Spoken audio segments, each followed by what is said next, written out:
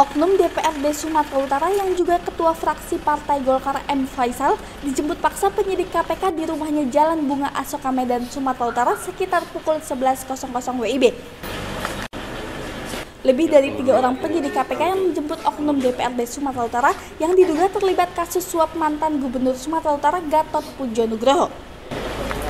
Eh, eh, Penyidik KPK sempat memeriksa dan mencari barang bukti di rumah milik oknum yang juga ketua salah satu organisasi kepemudaan di Sumatera Utara.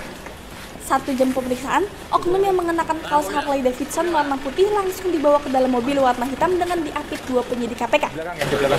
Penyidik KPK juga mengamankan satu koper warna putih yang diduga berisi dokumen penting yang dijadikan barang bukti yang disorot nah, terus ada apa pak diarahkan kemari oleh security hmm.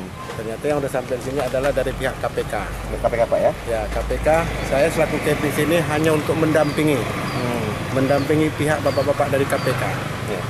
gimana kronologisnya itu saya nggak tahu ada berapa orang tadi yang diamankan pak satu satu orang ya pak atas nama siapa nama siapa pak kalau saya nggak salah Pak Faisal. Faisal ya, Sebagai ya? apa dia? Uh, anggota Dewan. Anggota DPR ya Pak ya? DPRD Sumut. Provinsi. Ya? Sumut. Terus Pak dari rumah tadi Pak yang Bapak tahu barang-barang apa aja yang dibawa? Ah itu saya nggak tahu Pak. Uh. Yang saya tahu cuma satu orang aja yang dibawa. Masalah dokumen apa saya nggak tahu. Dari Medan, Sumatera Utara, Muta di Tribrata TV, salam Tribrata. Hah? Ini ada luar. Ini kan rumah dia Pak. Enggak, Pak.